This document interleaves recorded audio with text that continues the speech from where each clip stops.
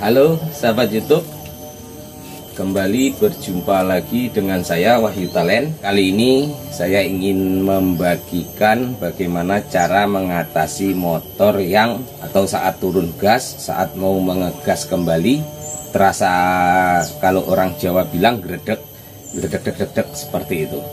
Jadi di sini kebetulan sudah ada motornya Khususnya jenis Suzuki Next jadi di sini saya ingin membagikan untuk sahabat-sahabat yang baru pemula apabila mengalami kendala motor yang seperti itu. Jadi apa sih penyebabnya? Menurut saya penyebabnya tidak jauh-jauh dari rumah rollernya atau rollernya pun juga sudah mulai rusak atau mulai aus. Jadi langsung saja kita sama-sama kita buka, kita lihat apa yang menjadi kendala.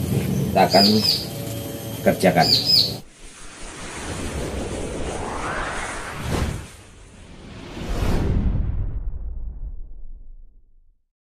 Oke sahabat YouTube jadi sebelum kita kerjakan kita akan tes terlebih dahulu bagaimana kondisi motornya saat ini jadi akan kita hidupkan motornya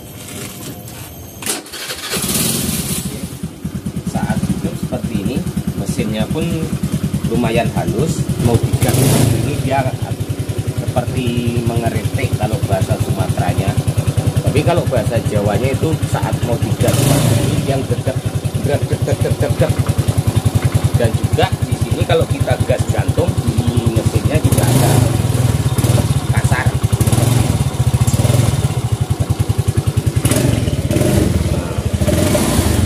Jadi terasa getarannya seperti itu. Jadi saat kita akan ngegas mau jalan ada beban dia akan seperti nyendat-nyendat seperti itu. Tapi nyendat-nyendatnya bukan karena faktor kabilator atau apa tapi dari segi sistem penggerak. Nah, yang nah,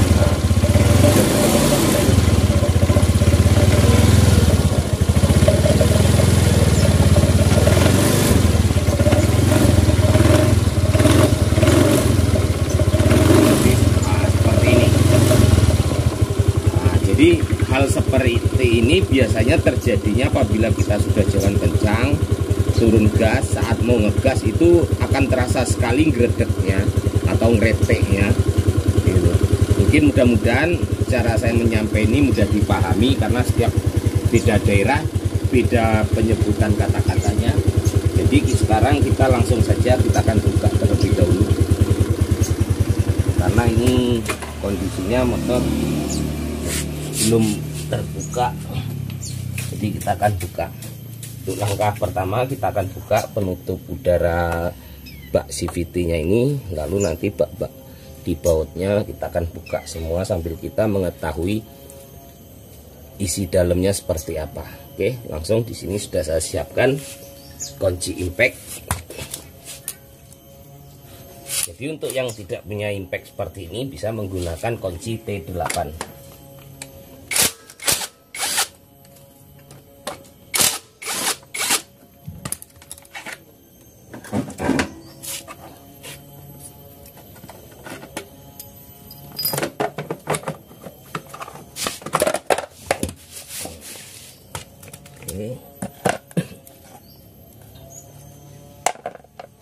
saringan bak CVT nya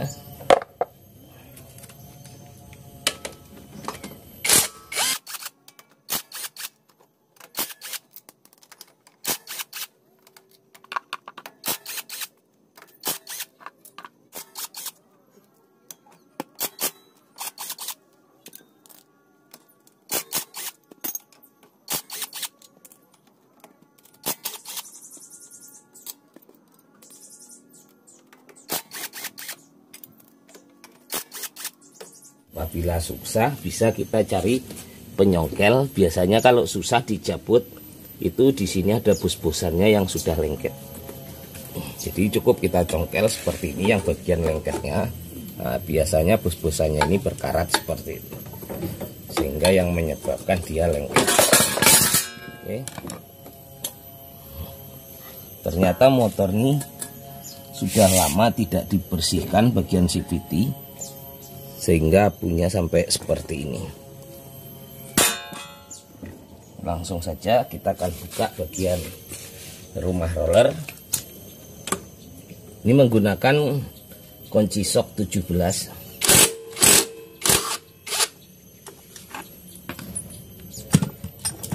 Oke.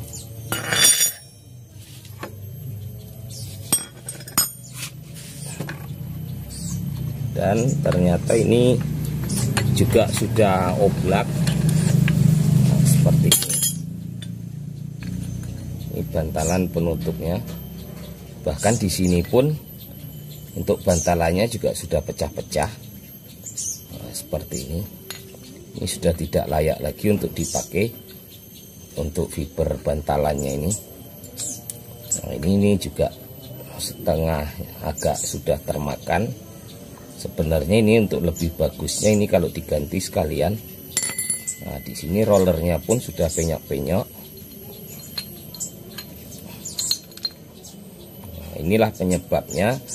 Apabila motor saat kita mau jalan kita gas terasa gredek-gredek nah ini penyebabnya. Rumah roller rollernya pun juga sudah penyok-penyok seperti ini.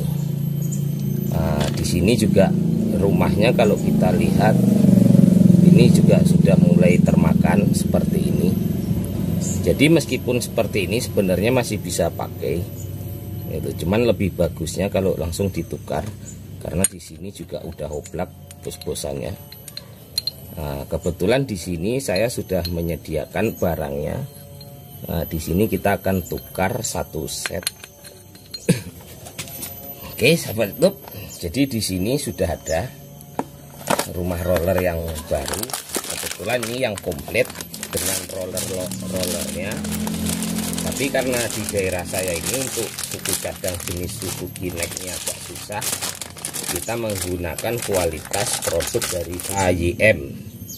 Jadi kita akan sambil ngetes kualitasnya mungkin juga ada juga sahabat-sahabat YouTube yang bertanya-tanya berapa bang kalau nuker rumah roller yang seset seperti itu? Nah jadi di sini mungkin beda daerah itu mungkin beda harga.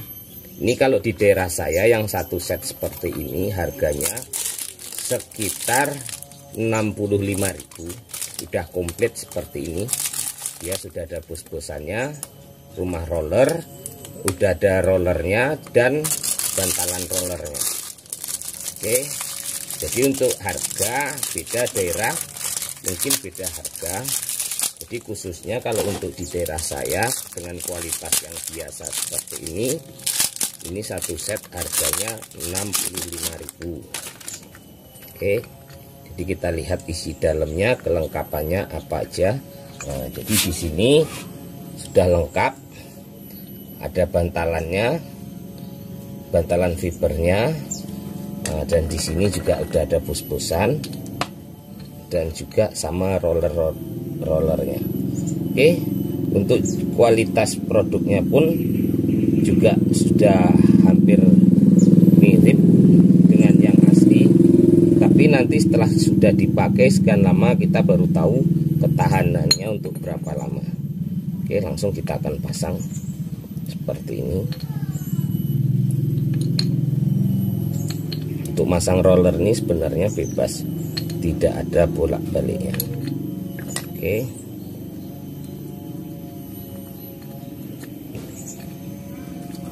Oke setelah terpasang seperti ini langsung kita akan pasang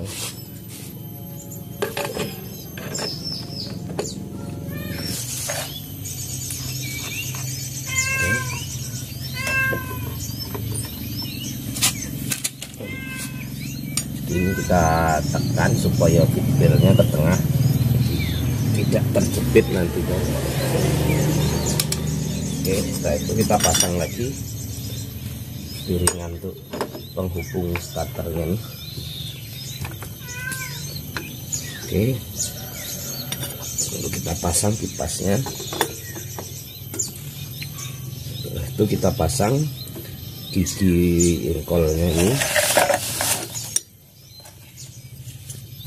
kita pasang reng lalu mor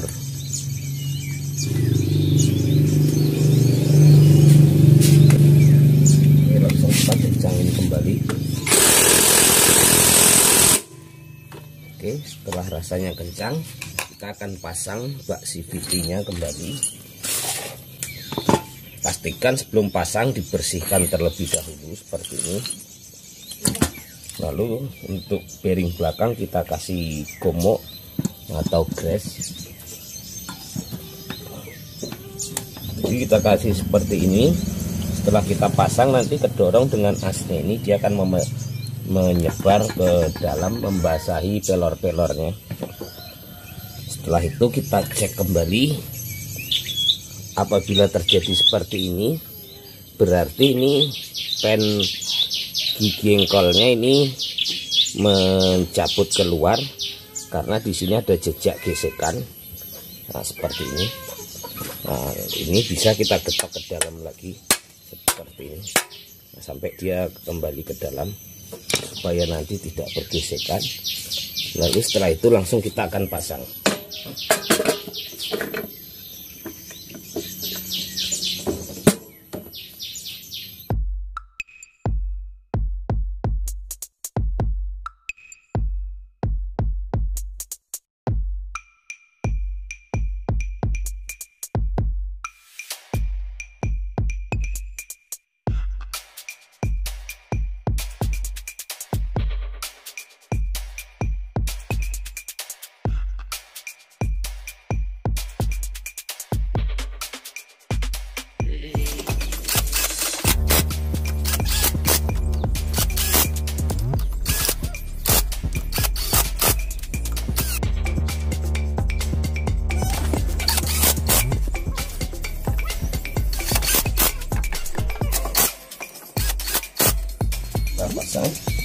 langsung pasang kembali tutup saringannya.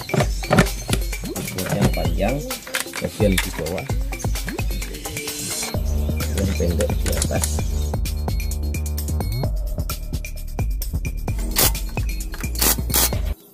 Setelah terpasang semua langsung kita akan tes kita akan hidupkan